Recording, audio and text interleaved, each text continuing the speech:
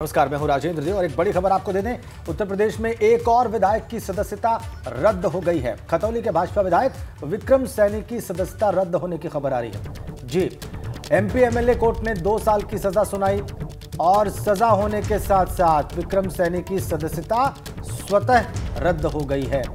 कवाल कांड में विक्रम सैनी को सजा मिली थी और इसी आदेश के बाद कोर्ट के, एमपी, एमएलए कोर्ट के स्वतः विक्रम सैनी की सदस्यता रद्द। आपको याद होगा कि इसके लिए एक पत्र भी लिखा था जयंत चौधरी ने विधानसभा अध्यक्ष को कि आज़म खां की सदस्यता अगर रद्द हो गई तो, तो फिर विक्रम सैनी की सदस्यता क्यों नहीं रद्द? जबकि कोर्ट ने उन्हें दो वर्ष की सजा दी है। वो कानून इन पर भी लागू है। और अब एक बड़ी खबर विक्रम सैनी जो कि बीजेपी के एमएलए हैं खतौली से उनकी सदस्यता रद्द होने की खबर आ रही है। अनुभव शुक्ला हमारे साथ जुड़ गए, हमारे संवाददाता। और विस्तार से बताएँगे अनुभव। आदेश कोर्ट ने कब दिया था और सदस्यता जो रद्द हुई है, इसके आदेश के बारे में विस्तार से बताएँ। अनुभव?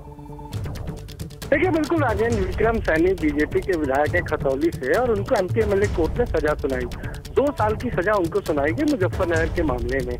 और जिस तरीके से सुप्रीम कोर्ट का जो आदेश है, उसके मुताबिक दो वर्ष या उससे अधिक की जिसे भी सजा होगी, उसकी सदस्यता स्वतः अपने आप ही रद्द हो जाती है। तो विक्रम सैनी की अगर बात करें तो सदस्यता तो इनकी स्वतः रद्द हो चुकी है। हाँ ये ज़रूर है कि अभी उनकी जो सीट है, उसका नोटिफिकेशन जो रिक्त होने का जो नोटिफिकेशन है, वो जारी नहीं किया गया। और इस मामले में तूल कब पकड़ा।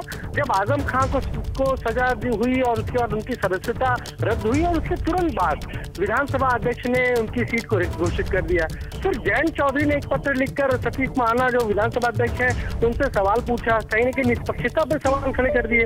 उसके बाद ये बहुत तेज़ी हुई है, हम कहें, विधानसभा सचिवालय से लेकर शासन तक हर जगह। और अब ये तैयारी है कि जल्द से जल्द विक्रम सैनी की जो सीट है, इसे भी रिक्त घोषित कर दिया जाए। सदस्यता तो ऑटोमेटिक जा चुकी है। जी जी। लेकिन सीट रिक्त होने का मतलब है कि नोटिफिकेशन जारी हो जाएगा इलेक्शन कमीशन को भेजा जाएगा और फिर इलेक्शन कमीशन वहाँ पर बाई इलेक्शन के लिए डेट अनाउंस करेगी। तो इसलिए ये महत्वपूर्ण हो जाता है। हमने ये भी पूछा कि भाई इसमें इतनी देरी क्यों हुई? तो एक चीज़ जो और सामने आई उसमें ये है कि कई बार कोर्ट का जो ऑर्डर होता है उसमें साफ़ तौर पर ये लिखा रहता है कि इसकी जो एक प्रति है एक कॉपी है वो इलेक्शन कमीशन को भी भेजी जाए। तो शायद इस मामले में वो चीज़ नहीं लिखी थी और इसी वजह से अब तक उस सीट को रिक्त नहीं घोषित किया गया।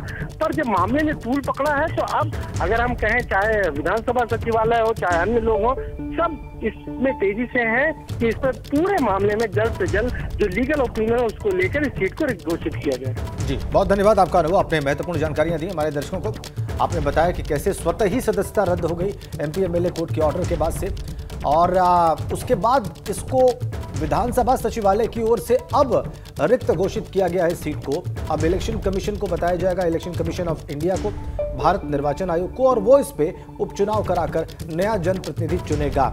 लेकिन सदस्यता स्वतः ही रद्द हो गई, सीट को रिक्त अब घोषित किया गया है। ये एक बारीक सा फ़र्क अभी बताया हमारे सहयोगी अनुभव शुक्ला